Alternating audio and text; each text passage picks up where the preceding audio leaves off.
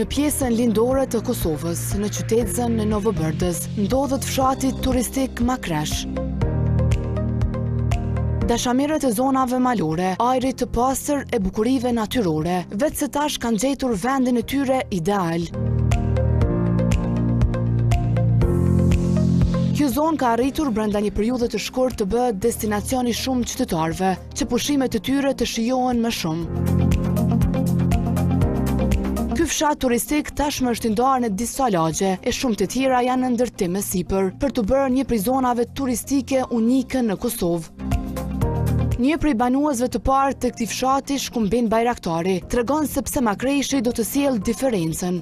Si trend ka qenë mas luftës që të vinin gjithë në qytet, kështu që u në një mënyrë u gërditën prej fshatit, po tash trendi ka fillu që njerëzit edhe ata që jetojnë Prishtin të fillojnë ta kenë edhe një shpi në fshat, Esenca e krejt kësaj është që pak t'i ikim stresit të përditshmërisë të Prishtinës edhe qyteteve, për shkak se po jetojmë me një stres jashtëzakonisht madh, me një vend që ka pluhun, ajri nuk është i mirë. Përndryshe këtu në këtë fshat nuk ka fabrika përreth, në katërdhjetë kilometra katrorë përreth nuk ka asnjë fabrikë, edhe është ajri ideal për me jetu. Gjithmonë flas sipas doktorëve që kanë ble prona këtu. Lartësia mbidetare ideale për me jetu një njeri është 800 deri 1200. Kështu që ky fshat i përmbush gjitha kërkesat, domethënë që ta kesh një jetë të rahatshme dhe të mirë. Ai i cili deri tash ka të ndërtuara disa vila, e shumë të tjera do të vijnë së shpejti, është këngëtari Labinot Rexha.